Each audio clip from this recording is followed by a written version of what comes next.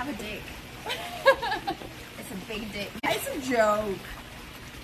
How big do you guys think it was? It would be if I was a guy? Probably like this big. Definitely. Yeah, three inches? Hell no. I if I was a guy, I'd have a big one. What's the first thing you would do? If I was a guy, Yeah. I'd probably stick it in something. That's what I would do. okay. This is gonna sound weird. Uh-huh. A jar of mayonnaise. Okay. Dude, okay.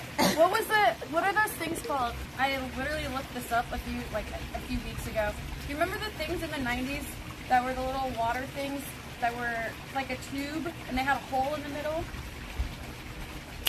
What were they used for? They had just like sparkly shit in it. Everyone's question marking me. No, I, no, no, no. Yes, They're, I uh. Water wiggle. Water, yes, those. What was the purpose of this? I don't know, but they were like they were little Just toys. But I just remember looking at those and I was like, oh. that That's is what I were for. So they looked like these, but they had a Oh hole. my god, I've seen that before. I don't feel like that's soft enough. Really? Unless you I put lube in it, maybe. Plastic is kind of sharp. I remember. Yeah, the plastic is probably sharp. They're like, I've. It's not that Yeah. good.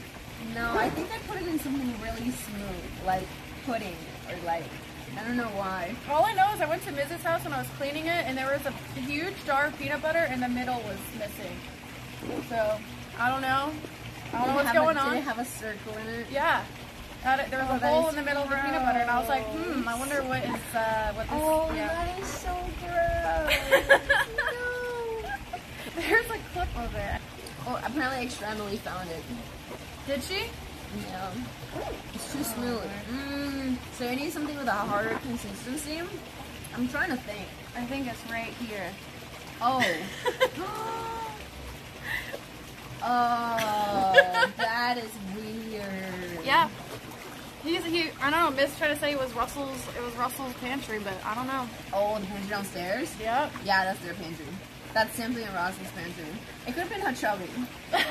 Maybe we She did was find there. a lot of her snacks. She was there and she left a lot of snacks. Yep.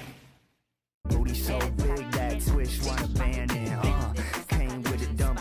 Everything I make is so repetitive, my numbing. Now I know that we be making bangers that you love it. Cause now I got a Linda these backside thumping.